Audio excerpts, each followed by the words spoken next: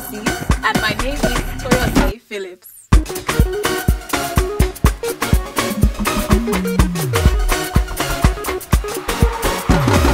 Welcome to As Toyo My name is Toyosi Phillips. As Toyo is a talk show that addresses a variety of social issues, from the serious to the amusing, the sad, and even the controversial. My guests and I will speak on all these issues and share candid experiences that have shaped how we see things. So now it's time for me to introduce my guest for today. She's special. She's very special. She's the very lovely, talented, opinionated lifestyle journalist Latasha Ngwube. Welcome to the show, Tash. Oh, wonderful! Hi! Mwah. Mwah.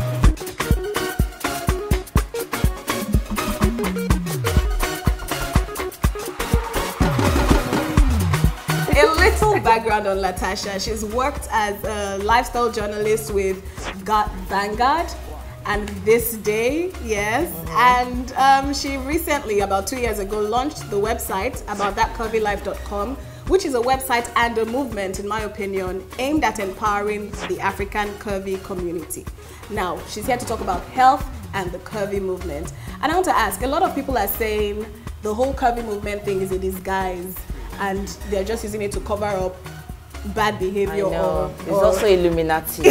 you know? What else?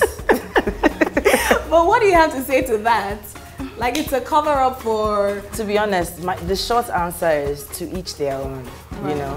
But then if you really want to know and not like throw jabs or like have a hot fueled argument, then I would say that it's really just um, empowering people who look outside of the norm, you know, and um, encouraging them to live their best lives in the bodies that they're in. It's really simple.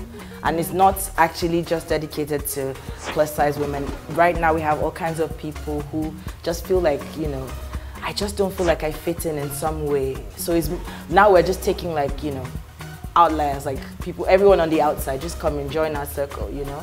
It's become so much more than just a plus movement, if that makes sense. But the core of it really was um, taking women of a plus disposition or body shape and then just telling them you're beautiful as you are. Um, you can dress the body that you have. It doesn't stop you from getting the job of your dreams or the life that you've always wanted to live. Just take it one day at a time and be confident in everything that you do. It's really simple.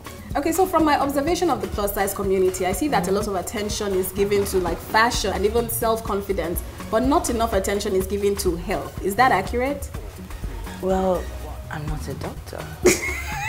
you know, I can only speak on the things I know, and I'm here representing ATCL. That's about curvy life. So I cannot speak for health per se.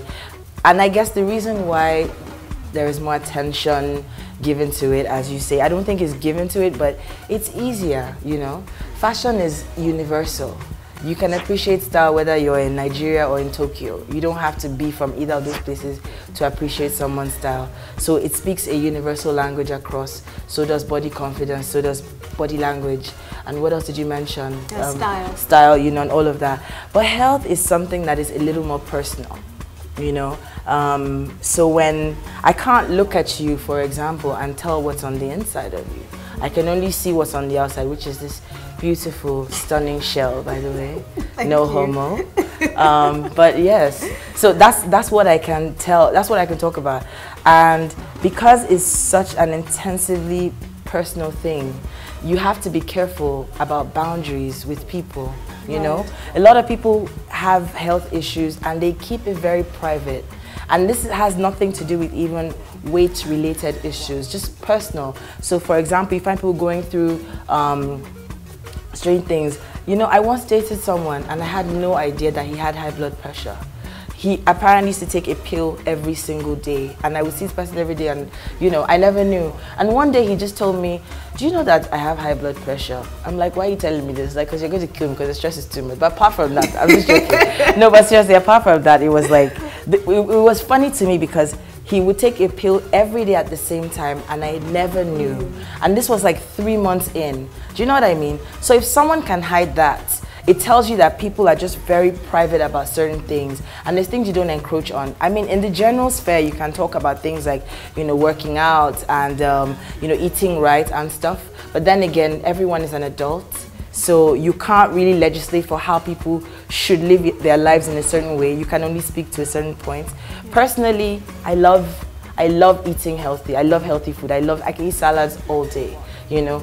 I, I like a certain kind of physical activity not everything. I like you know treadmills. I like walking. I like aerobics but there's certain things i just don't like doing you know. So it's personal to everyone and everyone's journey is just so again personal. Yeah. you have to be careful. You don't know what's brought people to this point. You don't know what they're going through. You don't know how they've gotten to where they are at that point in time. Yeah the reason the reason why this crossed my mind though was because tons of researchers say that or, or attribute um, being plus size or how do I, how do I say that? Link being plus size with many diseases. Like okay so if you're overweight or if you're this if you're if you're this particular size then you're prone to having diabetes or you're prone to having this or you're prone to having that. But I don't see the curvy community or maybe I haven't done my research well but I don't see the curvy community again saying okay go for regular checkups. What I see a lot of is dress for your size mm. and be confident this is who you are all of that. Again is that something that has to be addressed? okay but here's the thing.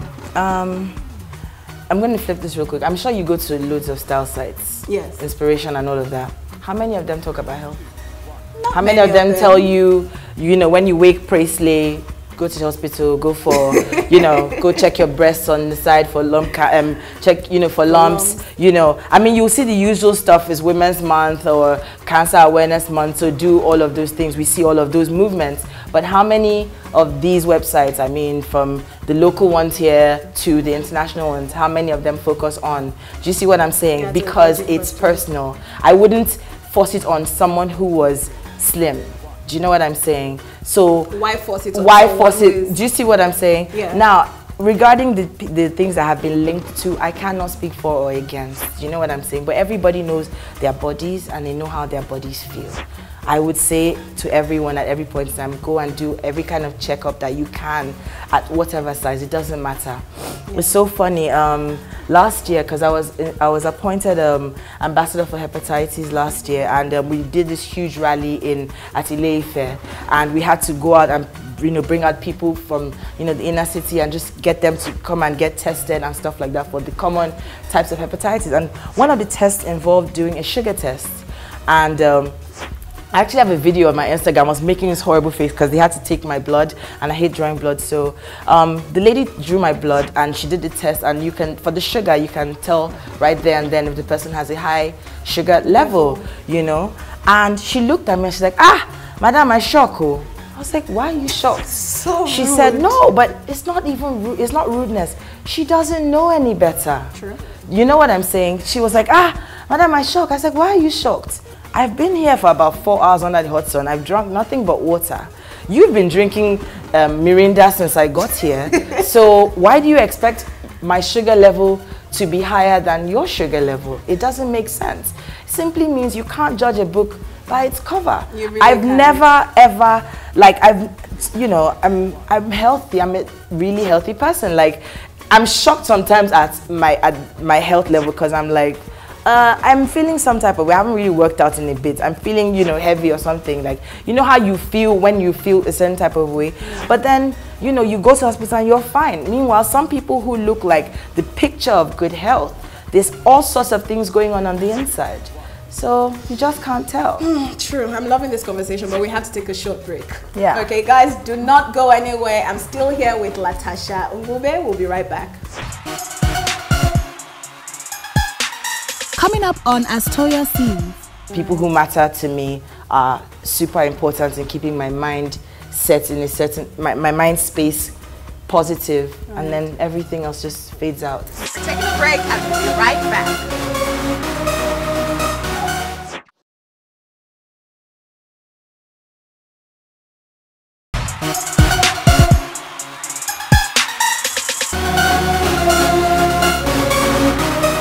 Welcome back to As Toyo Sees. I'm here with Latasha Ngwube and we're discussing health and the curvy movement. So I want to talk about your personal story a bit. Okay. Is there, does any incident stand out for you where someone just exhibited like a huge amount of ignorance and you were like, you know what, I have to address this issue?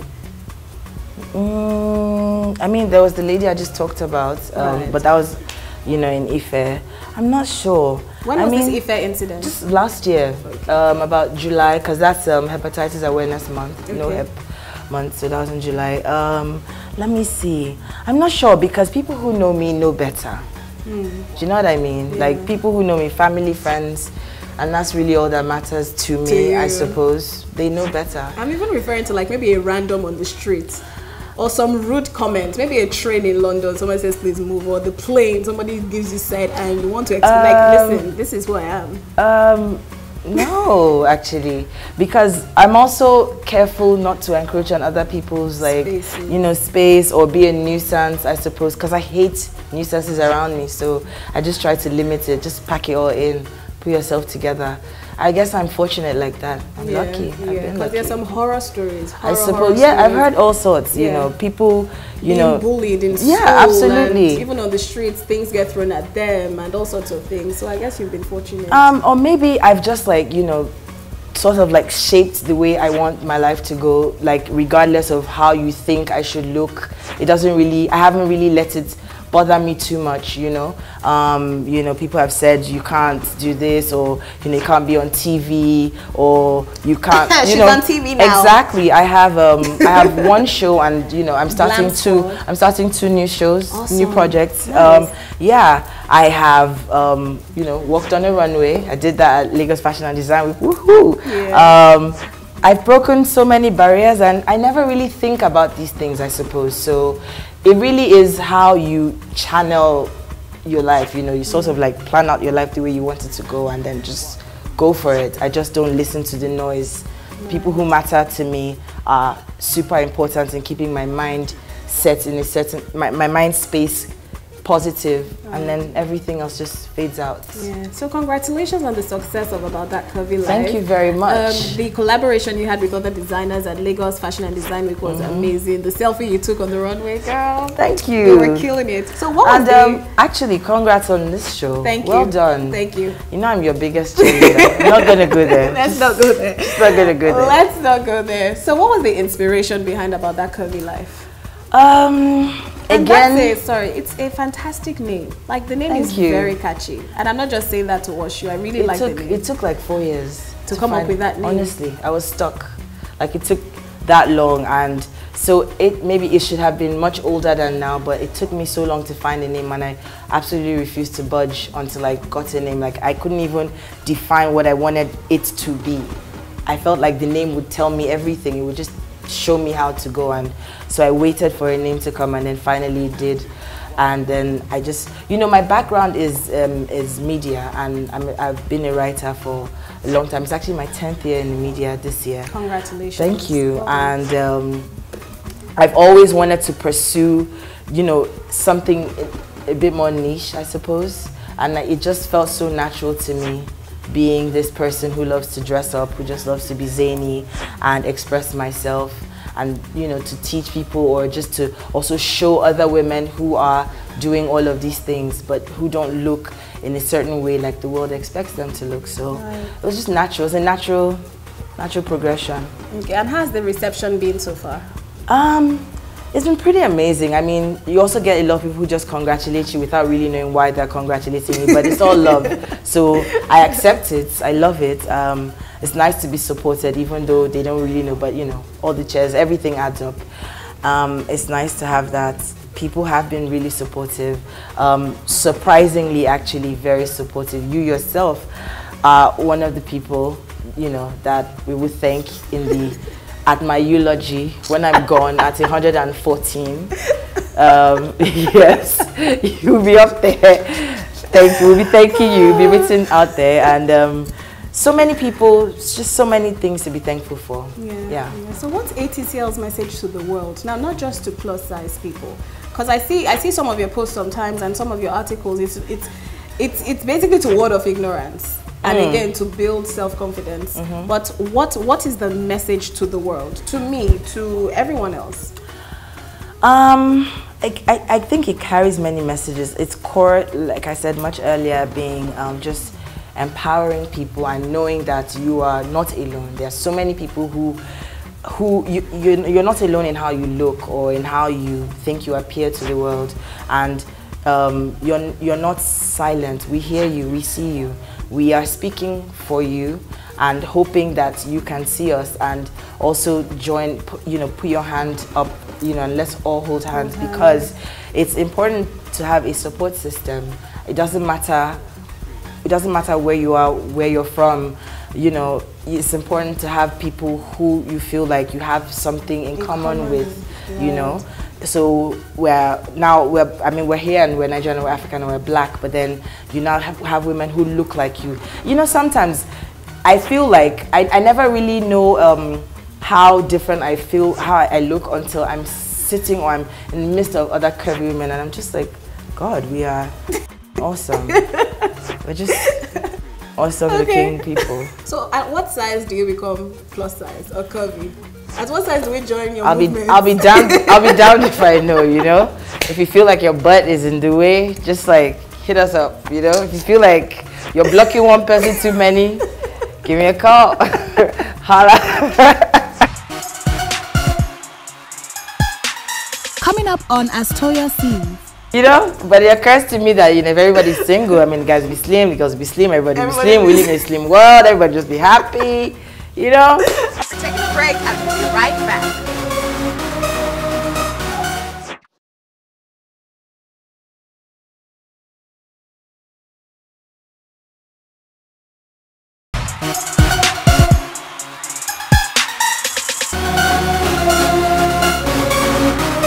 Welcome back to As Toyo Sees. I'm here with Latasha Ngwube and we're talking health and the curvy movement. So I feel like, and I know I've been saying a lot of my feels, I guess. You should say yes, it's as you see, as, as Toyo sees. As I see, as mm -hmm. I feel. Yeah, thank you. Up top. okay, but a lot of women, plus size women, get the negative comments. So a guy gets married, puts mm. on weight, and is like, "Oh, your wife is taking care of you." A woman gets married and puts on weight, they say, mm -hmm, she's relaxing. Because she has gotten married, she's relaxing. How can we deal with this? Don't get married. I'm just joking. Oh, no, I'm very pleased. I'm so sorry. I'm really joking. You know, but it occurs to me that you know if everybody's single, I mean, guys be slim, girls be slim, everybody, everybody be slim. We live in a slim world. Everybody just be happy. You know. okay, no, but for real, how do we deal with this? How do we how do we stop this negative bashing against women? I don't know. I, I don't I really don't have the answers. I mean, how can we be trying to fix what is what we think is broken in another person's home.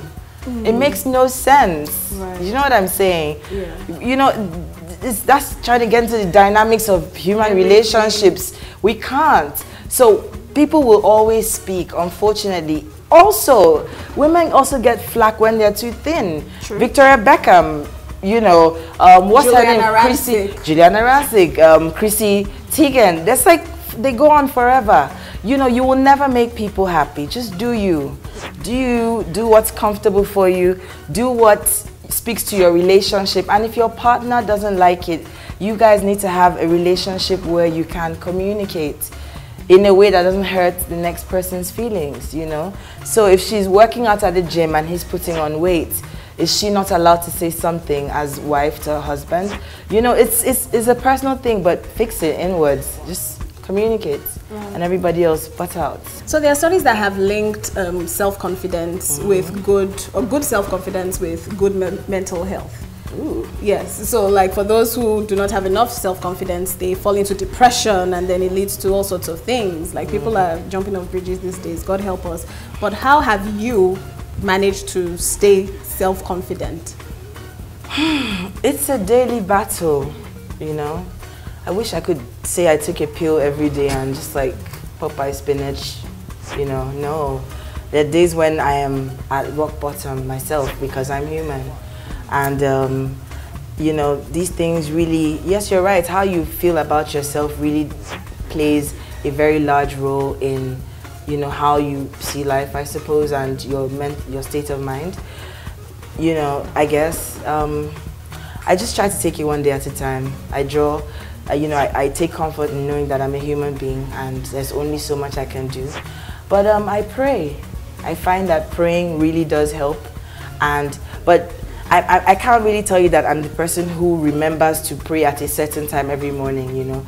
But I find that being thankful, staying in a very thankful state of mind every day, every single day, I wake up and I just keep saying thank you to my maker through everything. Doesn't matter what's going on. I've made a habit of saying thank you. It helps me. Right. Yeah. Okay. So I've learned something. I mean, mm -hmm. when next I need to talk to somebody about boosting their self-confidence, tell them, be thankful. Yes. Have a thankful state of mind. If you can't, just simply write out 10 things you're thankful for. Like, it doesn't matter how stupid. Thank you, God, that I ate jollof rice yesterday. You know, thank you that NEPA brought light at 10 p.m. before I could go to bed. Right. Thank you that I didn't burn my shirt, even though the iron is acting up.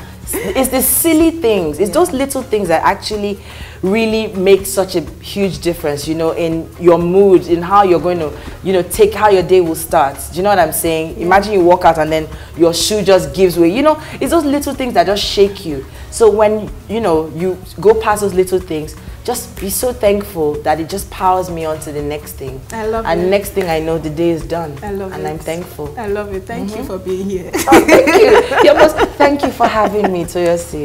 Okay, we're going on another break. When we come back, you'll get my final thoughts. Taking a break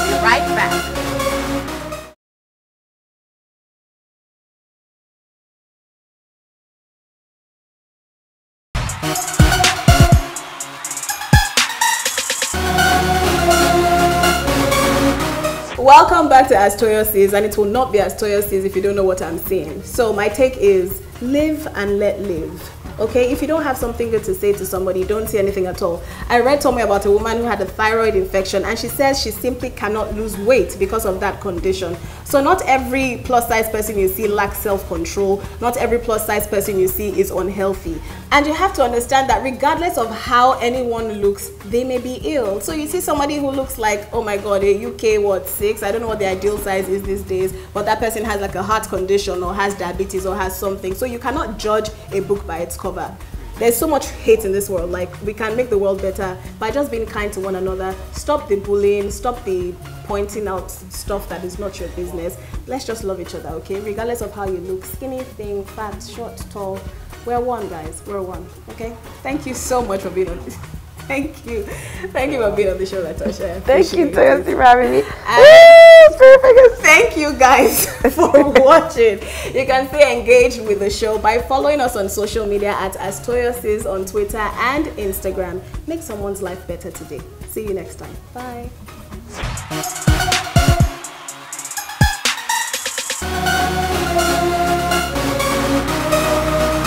This is As Toyo Sees and my name is Toyosi Phillips. Thank you for watching.